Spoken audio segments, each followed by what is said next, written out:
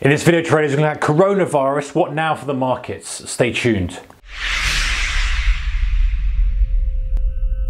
Hey traders, warm welcome to you. Right, so quick video update on what's going on with coronavirus, where the market is going to go, what are things we think about as traders. Okay, so as I'm doing this, guys, the market is ripping higher. NASDAQ is at all-time highs now. All the tech stocks are all-time highs. There's a bunch of momentum names that just keep going and going and going. However, when you contrast that to some other stocks, they are still not far off lows. They're not at lows. We had a little bit of a rally from some of the banks and some of the cruise liners and some of those ones that have been adversely affected, the airlines specifically because of the kind of plans to get back to, to normal. But there's an interesting stuff going on here, guys. And one of the things that we kind of think about is, okay, we seem to have a big disconnect with the economy and the markets. And that's the question that everyone's trying to think. Well, it's nothing like the economy. I mean, you see businesses shutting down, they're not going to reopen. You see big job losses for big companies like BP recently announced them. You know, we see a lot of car manufacturers or car dealerships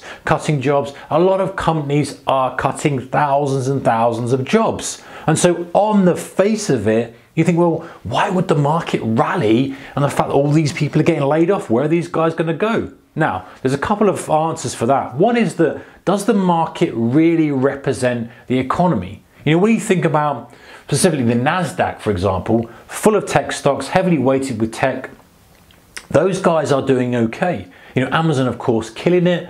You know, a lot of the uh, home-based business or virtual-based business like Netflix, you know, like any uh, kind of Peloton, a little bit like this. But you know, a lot of these companies that are tech-based aren't as impacted because a lot of the companies, uh, people can work from home, staff can work from home, and the revenue has increased. And even when it dies off a little bit, when everyone goes back to spending in bricks and mortar, they're still going to have a strong base. They've still got good margins. They've got lots of capital behind them, and so this is where this money's flowing in. And there's also something else I think about, guys. Before we go back to the point of of the disconnect between the economy and um, the markets is that you know people have got to put money somewhere. There is still money around the place, and you think about what's going on uh, with bonds. You think about the interest rates and returns you're getting with bonds. It's it's it's nowhere to make any any point to do that. You know, so you think, well, where are people going to put their money? Are they going to put it in gold? Maybe they've got some allocations there, but people with billions have got it put somewhere. And maybe they think, you know what, it makes more sense for me to put it into the biggest economy in the world, into these companies that are doing well, that I know are going to be around, even if I end up losing a little bit on the capital. So you like your Amazons, like your Apples, like all these companies, and so the money allocation just going further and further into those. That's one reason potentially the other thing, of guys, you've got to remember the constituents of the indices don't always represent the economy. So that's why we've seen a little bit of lag with the FTSE 100 compared to, say, NASDAQ, while the Dow's lagging a little bit compared to S&P 5. All these kind of things, you've got to remember that the indices are literally a basket of stocks. And if those stocks happen to be you know, not very strong stocks, then the index isn't going to push up. So that's one thing uh, to kind of think about. The other thing is, guys, is that there is also something to be considered that many people with large amounts of money. Not us, we're looking for kind of trades, but many people who are investing are thinking years ahead. So they're allocating capital based on what's happening years ahead. And whilst they may say, okay, well, you know what, maybe this company is going to struggle, maybe it's not doing so well, maybe the profits are a little bit lower on this. However, in year five, we believe profits are going to be X and Y, Z. And so they then go, okay, well, I'll allocate capital to this because the decision making process is slightly different for people with bigger money. For us, it's a case of how we're going to make some money, how we're going to have a good risk reward ratio in our trade. But for people who have got billions to allocate, the decision is, I need to allocate, I have to allocate it. I have no choice but to allocate this money. You can't just leave it in your account. You have to put, if you put it in cash, then it's an allocation in cash. And of course, you're getting a negative interest rate potentially for that, depending on where you are. So their decision is right, where do I allocate it to get the best return? And when the returns are so poor from cash and from bonds, and they kind of go, well, I don't really want to be fully into other stuff like gold, or I don't want to be fully into this or that, they go, okay, well, I'll allocate it to these companies because even in five years, even if they're doing a bit better, I think they will, even the share price stays the same and goes up to 4% over five years, I'm still doing way better than I would have been uh, with the dividends and stuff, having it in cash. So the decision making process is a lot different, don't forget, guys, for these big funds. I'm not saying this is the right thing, I'm just saying this is what's going through my mind when I'm thinking about you know what's happening with the markets, where it's going to go, how it's behaving. So the other thing to think about, guys, is the Fed obviously pumping money in. They're piling money in, as of course the UK doing a lot to support businesses with a lot of grants, uh, with a lot of the furlough scheme, with these bounce back loans. There's lots of money being pumped in by most countries to keep things going. Now there's an argument of you know what's going to happen in the future, how we're going to pay it back,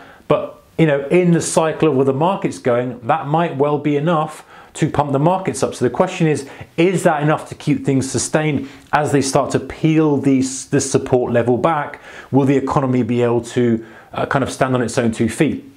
The other thing to think about, guys, I've noticed recently is the narrative around how they're opening things up. This is UK based specifically, but I know in the US as well, very similar. It was a case of, oh, everything's going to have to be really different and we're going to be miles apart from each other, and you, you might be lucky if you can eat at a restaurant, you know, at the end of the year. That seems to have changed you know, they seem to have looked and gone, you know what, we need to get things open.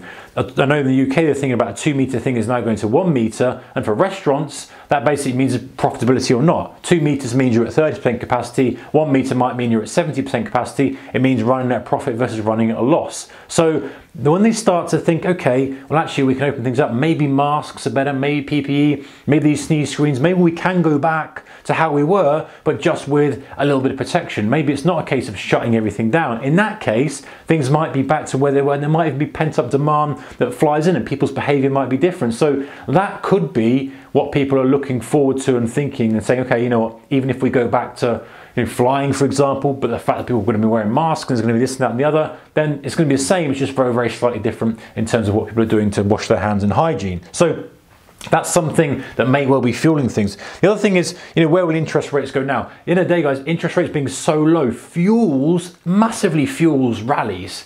Because again, back to the initial point of where do you put your money to get the return, but also, of course, companies being able to borrow money so cheaply to invest in their business. It is ridiculously cheap to borrow money right now for companies, and that is good for business. It means they can invest, it means they can build that factory, it means they can invest in that technology, it means they can spend and look to the future. Now, there is an argument here we haven't got time for talk about you know, taking on debt, etc. But generally speaking, low interest rate environment is good. So if the economy comes back at full steam, all coal, you know, coal, coal fire burning massively, and they've got low interest rates as well, then you know this this is what people are looking for and thinking, wow, this thing could rip. Okay, so where are the best trades? There's no doubt this could pause. I'm not making any predictions here, guys. You know, I'm a short-term trader. I look for patterns. I've got my setups and strategies I work for. However, work for me. However, I like to think about what's working, I like to think about the bigger picture, who's doing what. So there are still stocks out there and individual markets and maybe some currency pairs as well that are actually offering good short opportunities. Of course, there's currency pairs offering good short opportunities. It's a pair against one or the other. But from the stock perspective, there's still lots of stocks that are struggling, lots of companies that are struggling.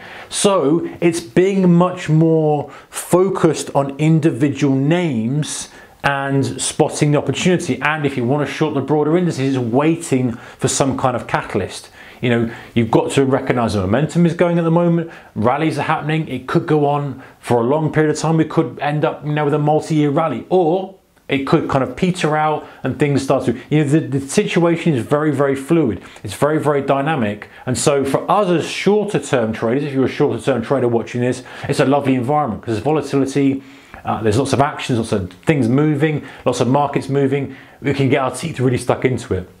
But if you're a, kind of a longer term investor, it's challenging. You go, okay, you know, do I kind of stick capital in here and look for a rise and maybe am I chasing things? It's a tricky environment to trade. However, listen guys, the, the, there's no better time at the moment to be a trader than now. There is so much stuff going on. We are spoilt for choice. The volatility is there. There are short names out there to trade. There are long names out there to trade. There's mean reversion plays, there's momentum ignition plays. There's loads of stuff going on. Yes, we have had a period where currencies went very quiet for a while, but now they've started to expand their volatility. Now things have started to kick off. So What's going to happen in the future? Hey guys, who knows? No one could have predicted what was going on. No one can predict what's going to happen. Uh, but in the day, if you just keep an eye on the charts, if you just keep an eye on uh, how price is moving, try to disconnect a little bit from what you're seeing because it is confusing. Don't get me wrong. You see the main street, all those job losses, and you see the market flying, and we try to come up with some reasons why but in a day, it is what it is. So price rules all, tape rules all,